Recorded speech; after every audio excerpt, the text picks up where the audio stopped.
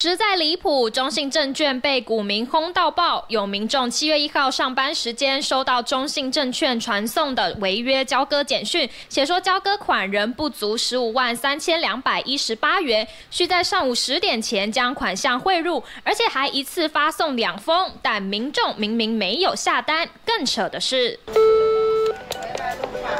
给客服却迟迟打不通，最后让民众气炸的是下午三点终于收到简讯了。中信证券表示是系统误传，会给两百块的超商礼券当做补偿，让他直呼真的是无法接受。太夸张了啦，那自己管理的问题啦，会觉得有点奇怪。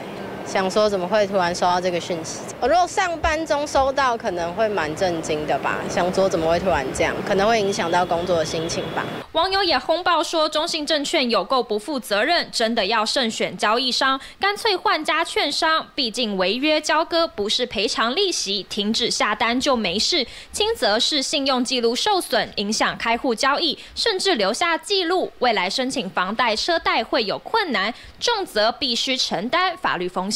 中信证券它这一次的有系统传送，呃的相关的一些错误，那这一块我们也会请证交所哈去进行相关的查核，看呃到底有什么样的呃缺失，有没有违违反我们相关的规定。